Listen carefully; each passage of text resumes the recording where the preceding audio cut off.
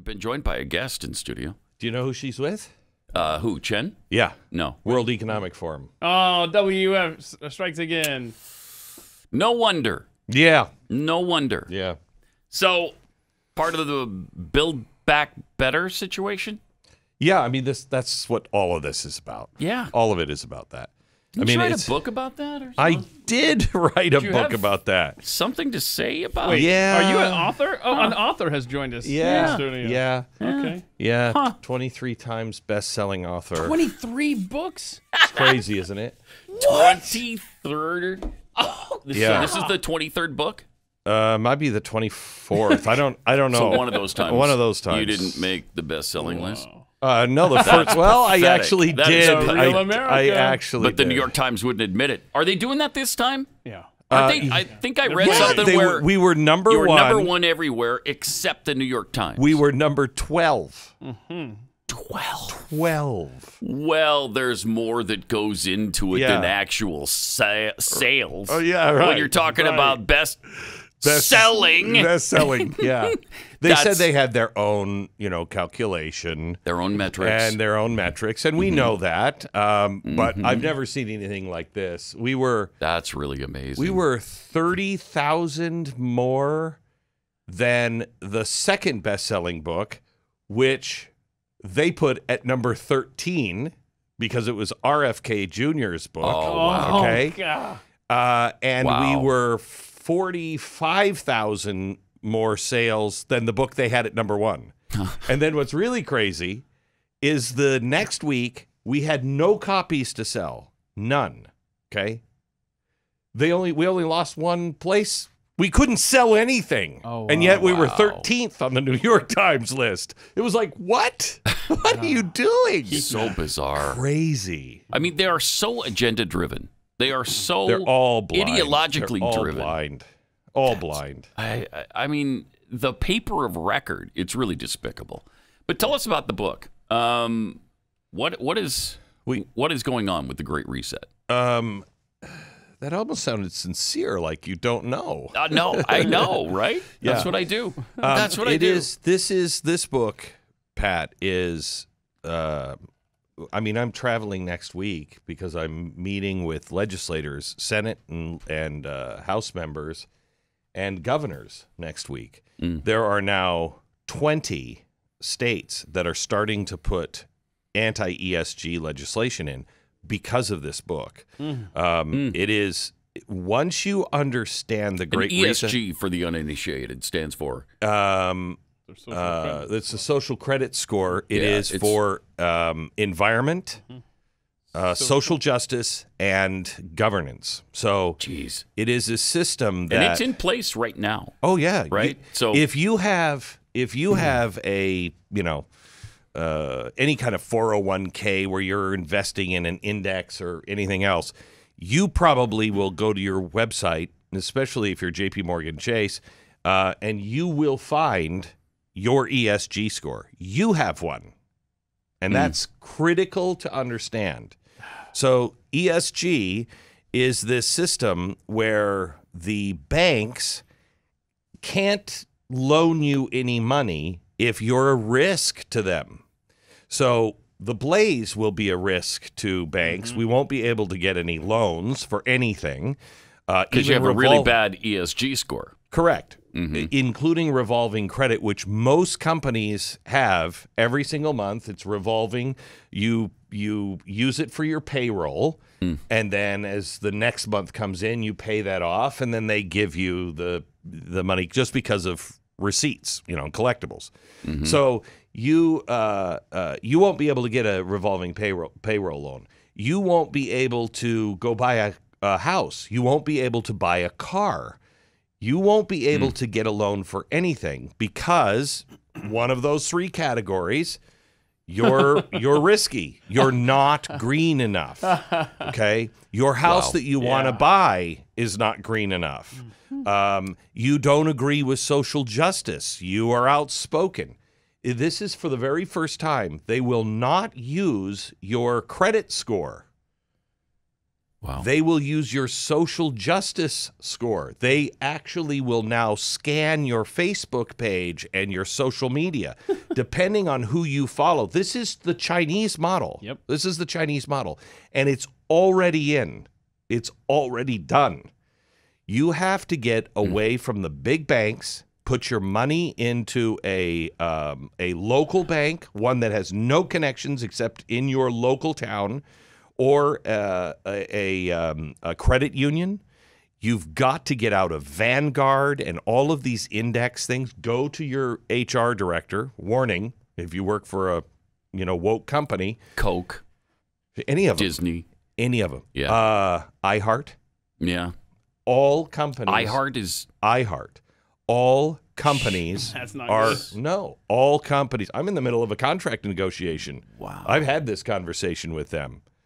You know, I've had this. I've been in this company since 1989. I know. You have been in and out since that time. Yep. Um, I know them quite well, uh, and uh, I've said to them, we can call off all contract negotiations. What does this mean to you? And they're like, well, we have certain things we have to do, blah blah blah. That okay, all right, um, but you know, it will never Wow. affect me on the air. And most people are going to be working for ESG companies. So you're not going to be able to avoid it. You're just not. But the key here is is get your money out of that system. They are using your money. Jeez. Vanguard, BlackRock, Black what is it? Black uh, Stone, uh, Black any of these any of these um, indexes that you're in, any of them, they're using your money to destroy capitalism. And hmm. it's really critical that you pull your money away from them.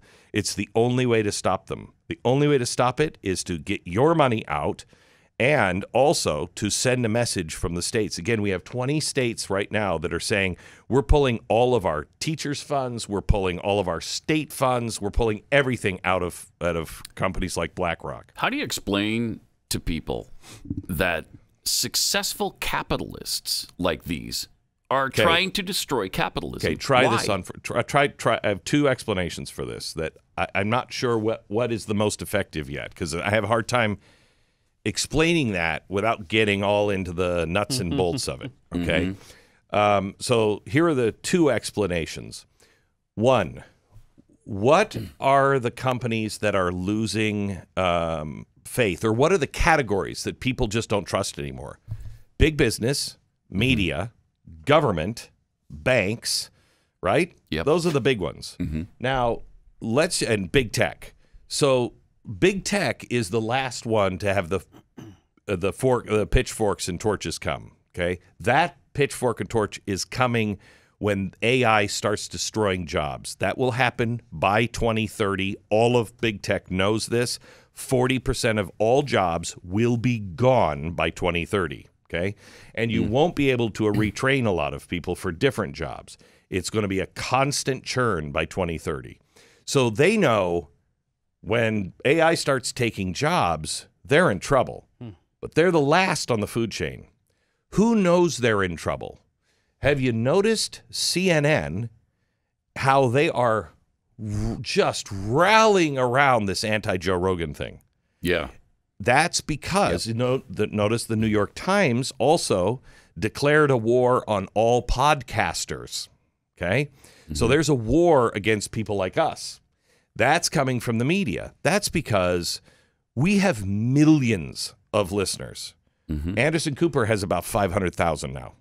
Okay? Mm-hmm. We have millions, 500,000. Joe Rogan is estimated to have anywhere 11 between million a day. yeah, 11 million a, day. Okay? It's amazing. Again, CNN, highest rated program, 500,000. They're done.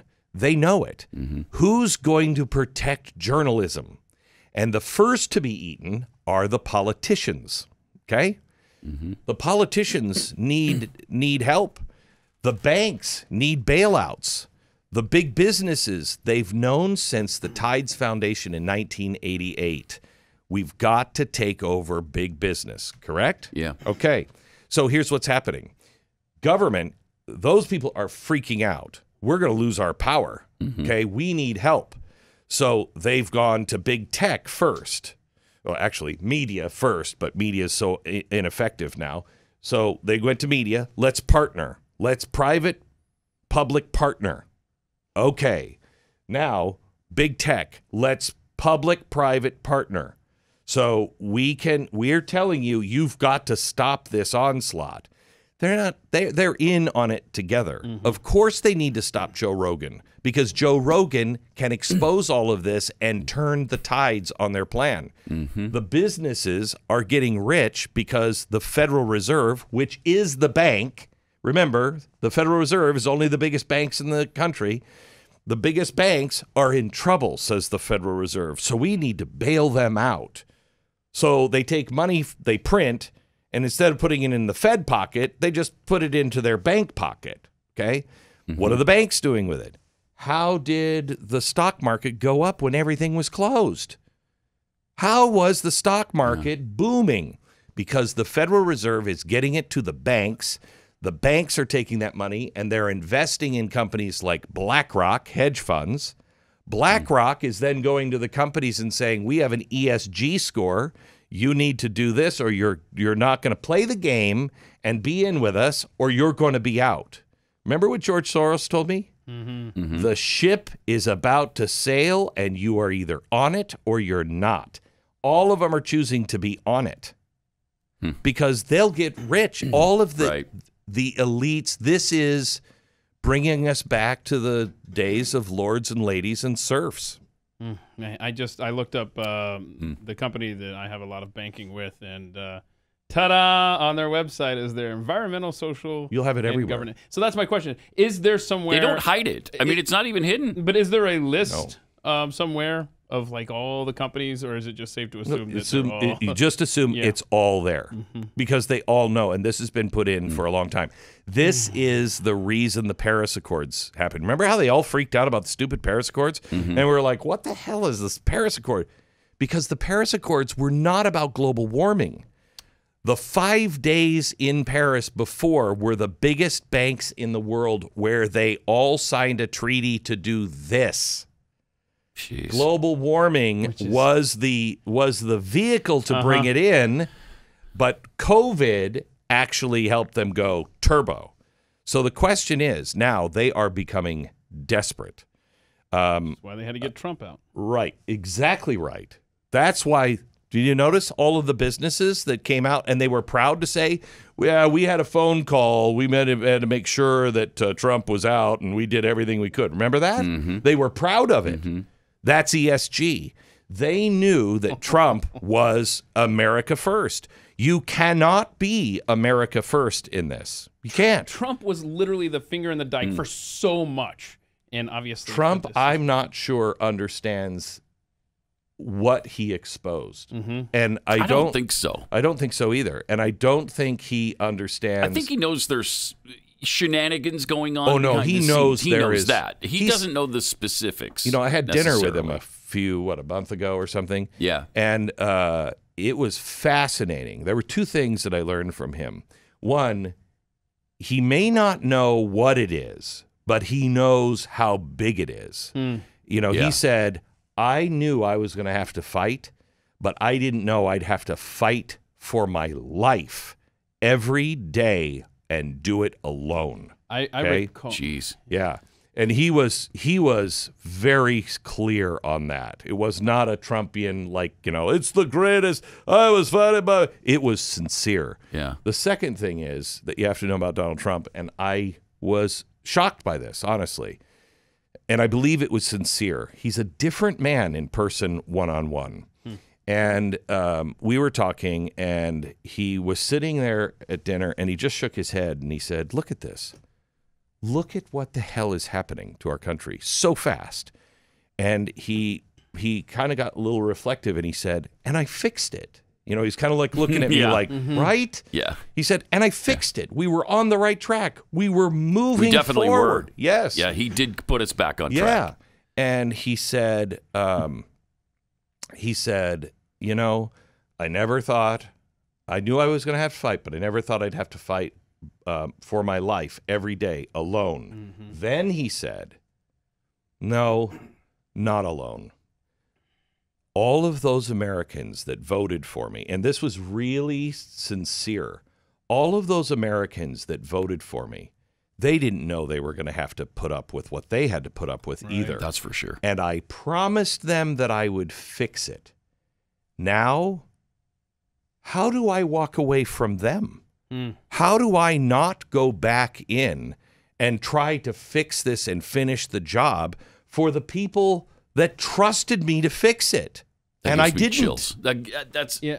So fantastic. That is my impression of Donald Trump. It is. He I is such a patriotic he is America and guy. loyal. Lo- yep. Loyal. He the thing I I really got from him because I I went in, you know, thinking Donald Trump absolutely going to run again because he's not going to leave, you know, uh, with a with a with a feeling that he lost. That he lost. Yeah, Okay. his legacy. his legacy. But that's not, not it. That's not it. And that's what everybody misses about Donald Trump. That's you know, really great. It's something that has haunted me, and it's now coming back to the surface now, listening to you talk about Trump. Uh, remember, I think it was summer of 2020, and he was on with Rush Limbaugh, and he just talked and talked and talked. Rush blew out national commercial breaks just to keep the conversation going.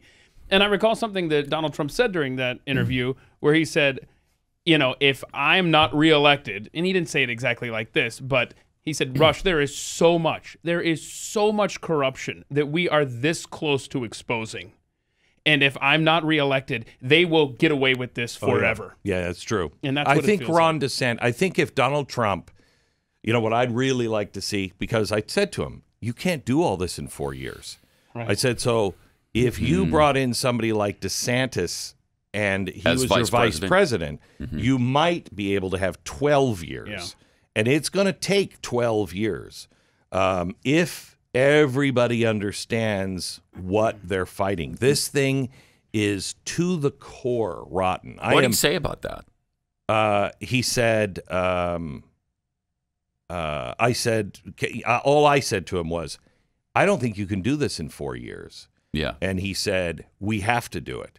But I cannot do it with a GOP that is full of a bunch of Mitch McConnells. Yeah, that's for sure. He said it. That's for he sure. said we cannot do it uh, because, and, Yeah. and I said to him, "You are you making a list of naughty and nice of the people that have You to know he is. yeah, that have to be fired right now. I said, you have Yeah. to almost shut down every federal agency. And he said, I can't do it without Congress and the Senate. I can't do it. It will take an act of Congress to fire these people. And he said, it has to all be cleaned out. And we talked about, I'm not for the Great Reset, but I am for have you tried unplugging it and plugging it back in? and that's really what it, we have to do. It it's we must unplug this system and then plug it back in and restore it to factory settings. That's what happens when you mm-hmm. hit the reset button. It doesn't reset to a new system. It goes Right. back to the original programming. And that's what needs to happen. And that's not what that's, you know, that's what Joe Biden ran on. We're going to come we're going to come back and, you know, we're going to return to normalcy. This is m- more abnormal Oh, yeah. than the guy who was tweeting oh. on the pod at three o'clock in the morning. Yeah. Oh, for sure. Yeah. This and is- and it's more abnormal than Barack Obama. so did you see? Oh, I mean, this guy's so much worse than yeah. Obama. I didn't think you could get worse. Uh, can I can I have another minute after we break? You can. And then I want to I want to share with you what Department of Homeland Security said. Did you hear this? I don't. I'm not oh, sure. it was a love missive directly to you and other podcasters. wow. All right. Uh, more with. Glenn coming up in just a minute on no. Pat Gray Unleashed. Department of Homeland Security. Now, I want you to remember that they have been talking about misinformation and disinformation, right?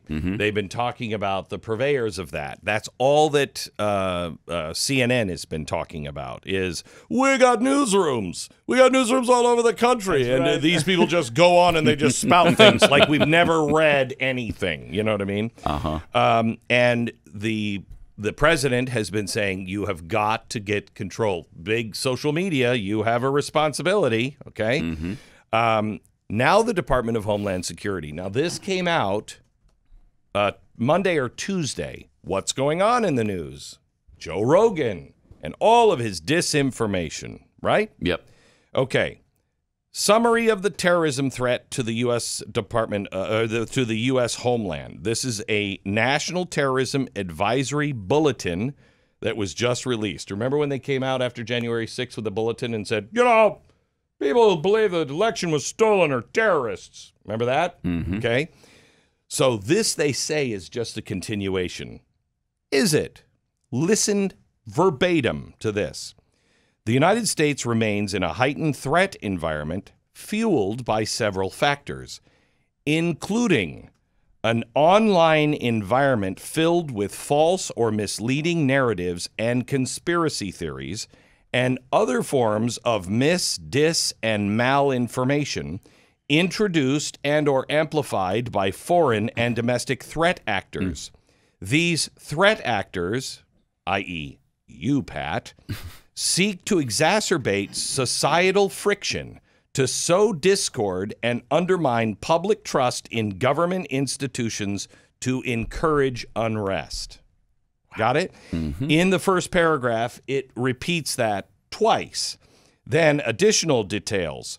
The primary terrorism related threats to the United States continue to stem from lone offenders or small cells of individuals motivated by a range of foreign and or domestic grievances, often cultivated through the consumption of certain online content. Okay. then, key factors uh, for the current heightened threat environment. Number one, the proliferation of false or misleading narratives which sow discord or undermine public trust in U.S. government institutions. The, Wow. the World Economic Forum just did a 10 day. Remember when they when Bill Gates had uh, what was it, Event 201, where we're just going to see what we should do in case there's a coronavirus outbreak. And that involved all of the treasuries, all of the central banks, everybody else, big business, media, and they wargamed it. Well, the World Economic Forum just finished another war game. And the war game was let's say Russia uh, starts to uh, retaliate because of something. And they decide to hack into our financial systems, or they start to uh, hack in and they do what they did last time with the. Remember when the gas pipeline and they started to say, "You hold it hostage. We're not opening Right. it unless you pay." Okay, what do we do? What should the world do? Because that could cause a catastrophic collapse of the financial system. And a collapse, to quote them, that would require the world to orderly get out of certain world currencies. Gee, I wonder what world currency that might be. Okay. So they mhm. wargamed it. They said the number one threat, the number one problem would be those that would say things like, get your money out of the banks, hmm. get your Yup. money out of Wall Street, get your money into Bitcoin, Jeez. get your money out of US dollars. Those would be the number one threat and would have to be silenced immediately. Hmm. You tie that with this, you see what's happening to Joe Rogan, you see what the left has said about podcasts, you see what they're doing. Our time is limited, and I don't say that with hyperbole. I say that to say to you get the Great Reset book. I hate to say. I mean, uh, yes, I'm right now. I'm not making. I'm not making any money on it. I'm just trying to pay for all the research and everything else. um, get the book. It is the Rosetta Stone. We do have it in audio and Kindle, but I'm telling you, buy the pa- the paper copy because it information will just disappear. It will be gone, and our voices will not be in your life. You've got to do your own homework. Pretty chilling. It's Pretty here, Pat. sobering. You and I prayed every day, every day on our knees in my office in New York, every Mm-hmm. single day. Tell us, Lord, what do we need to say? Where do we need Right, to go? What do we need to look for? We saw all of this. Watch last night's show. Watch last night's TV show and see the chalkboard I put out five, four or five years ago and look at it. It uh, I didn't come up with these things, but the Great Reset is exactly what we knew. And do you cover a section on what we do about all this? Yeah, the last one. Yeah, And okay. one of them is we have to have an Article 5 convention. Uh, have to. Been pushing that for what, 10 We- years? Yes. But is we- Levin still behind that? He's oh, still yeah. pushing for it, right? Oh yeah. Oh yeah. Yeah. Uh, there's and there is movement on that, but it is the only way I've been to hearing about it, it, again lately for the first time in a while. Yeah, So it's the there's hope only that way. it couldn't it can happen. Yeah. It it has to. great. It because we are at the place where you've got to be on your local not only school board, zoning committee. Hmm. You've got to call the state. Texas is doing something, but they're only doing it on the E, not the S and the G. They're just protecting the oil companies. Same thing that happened with Oklahoma. Same thing that's happening in West Virginia. Excuse me, don't just go for the oil companies. How about you protect the rest of us too? Yeah. Yeah. All right. The book is The Great Reset uh, by Glenn Beck, and it's it's a must read. Absolute must have, must read. Thanks, Glenn. Thank you. If you enjoyed this video, hit like and subscribe to our channel so you'll be sure to see similar videos from Blaze TV with the added bonus of signaling YouTube that your voice and opinion still matters. And if you're looking for more great conservative content, check out one of the two videos suggested here. And let's go, Brandon.